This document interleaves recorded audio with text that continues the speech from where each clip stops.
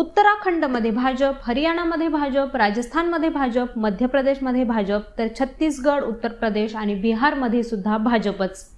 उत्तर भारतात हिमाचल प्रदेश पंजाब दिल्ली झारखंड आणि पश्चिम बंगाल या राज्यांमध्ये भाजपची सत्ता मात्र नाहीये. तर यातील हिमाचल प्रदेशमध्ये पूर्ण बहुमताने काँग्रेस सत्तेत आहे. याशिवाय पंजाब आणि दिल्लीमध्ये पूर्ण बहुमताने आम आदमी पक्ष सत्तेत आहे. तर तिकडं पश्चिम बंगालमध्ये ममता बॅनर्जींच्या तृणमूल काँग्रेसकडे संपूर्ण असं बहुमत आहे. तर भाजप मात्र तिथं आसपास कुठंही नाहीये. आता राहिला होता प्रश्न तो फक्त झारखंडचा. इथं कुणाकडेच बहुमत नाहीये. मात्र झारखंड मुक्ती मोर्चाने काँग्रेसला सोबत घेत आता सरकार स्थापन केले. मात्र त्या अगोदर भाजपला इथं संधी दिसत होती. भाजपने तसे प्रयत्नही केले मात्र आजी माजी मुख्यमंत्र्यांनी पडद्यामागे अशा काही पाच खेळ्या केल्या जेणेकरून भाजपला झारखंड काही हाती लागूच दिलं नाही. हेमंत सोरेन यांच्या राजीनाम्यानंतर पुन्हा एकदा चंपाई सोरेन यांचं सरकार बहुमताने आता सत्तेत आले. तर नुकतंच त्यांनी विधानसभेत बहुमतही आता सिद्ध केले. यानंतर नेमक्या अशा काय घडामोडी घडल्या आणि आजी माजी मुख्यमंत्र्यांनी भाजपचा डाव नेमका कसा उधळून लावला तेच आज या व्हिडिओच्या माध्यमातून समजून घेऊयात. मागील काही दिवसांपासून झारखंडमध्ये हेमंत सोरेन हे ईडीच्या रडारवर आले होते. जमीन घोटाळ्यात त्यांना अनेकदा समन्सही पाठवण्यात आलं होतं. आणि अखेर ते चौकशीसाठी हजर झाले. त्यांची चौकशी झाली त्यांच्या घरी छापेमारी झाली मात्र पुन्हा एकदा त्यांना समन्स पाठवण्यात आलं. यावेळी मात्र ते जवळपास दीड दिवस गायब झाले होते. एखाद्या राज्याचे मुख्यमंत्री असे दीड दिवस गायब होतात आणि कोणाच्याच संपर्कात नसतात असं बहुधा पहिल्यांदाच घडलं असावं. तर इथंच त्यांना अटक होण्याची शक्यता बळावली आणि एक फेब्रुवारीला त्यांना अटकही झाली.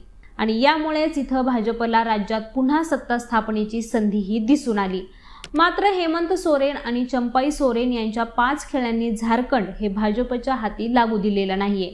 तर यापैकीच पहिली खेळी खेळली ती म्हणजे हेमंत सोरेन यांनी. सोरेन यांनी अटकेची शक्यता ओळखून आधीच आपल्या पक्षातील प्रमुख नेत्यांची बैठक घेतली. त्यात त्यांनी कल्पना सोरेन आणि चंपाई सोरेन यांच्या नावाचा प्रस्ताव ठेवला.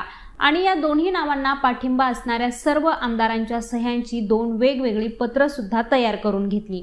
यानंतर मोठ्या हुशारीने मुख्यमंत्री पदाचा राजीनामा देण्या अगोदरच ईडीच्या अरेस्ट मेमोवरती त्यांनी स्वाक्षरी करण्याचं टाळलं होतं.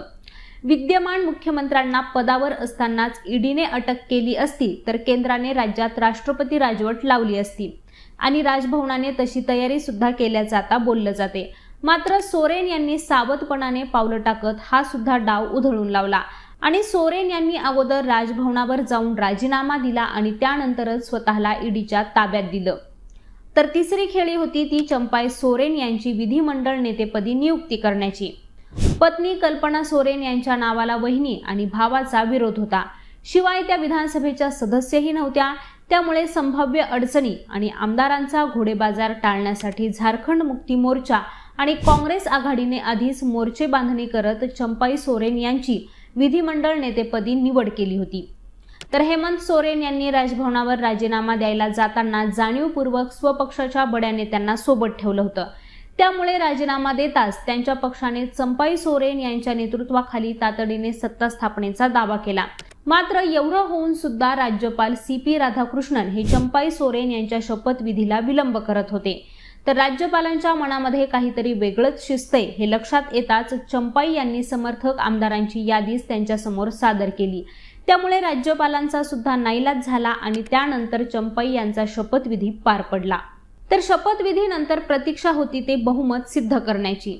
आमदारांचा संभाव्य घोडेबाजार टाळण्यासाठी सत्ताधारी झारखंड मुक्ती मोर्चा आणि काँग्रेसच्या आमदारांना तेलंगणामध्ये हलवण्यात आलं होतं. त्यांच्याशी संपर्क साधला जाऊ नये यासाठी सर्वतोपरी काळजी सुद्धा घेण्यात आली. त्यानंतर स्वतः हेमंत सोरेन यांनी बहुमताच्या चाचणीवेळी आपल्याला विधिमंडळात हजर राहता यावं म्हणून कायदेशीर आघाडीवर नेटाने किल्ला सुद्धा लढवलाय. तर अशा रीतीने उपचार घेणारे एक आमदार वगळता बाकी सर्व आमदार हे विधिमंडळात पोहोचले आणि चंपाई सोरेन यांनी आपलं बहुमत सिद्ध केलं. आता पुन्हा एकदा झारखंडमध्ये झारखंड मुक्ती मोर्चा आणि काँग्रेस यांचं सरकार सत्तेत आलं असून सोरेन राज सुद्धा झारखंडमध्ये परत आले. तर मंडळी यांसारख्याच राजकीय विश्लेषणांबद्दल जाणून घेण्यासाठी लेट्सअप मराठीला सर्वच सोशल मीडिया हँडलवरती फॉलो करायला विसरू नका. पाहत रहा लेट्सअप मराठी.